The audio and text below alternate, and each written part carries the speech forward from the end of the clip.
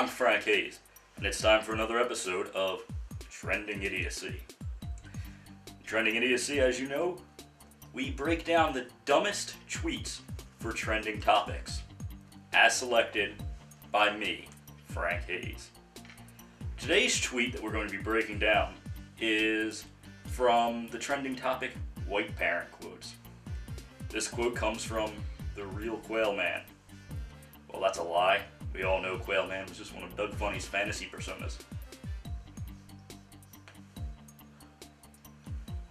The quote is hashtag white parent quotes.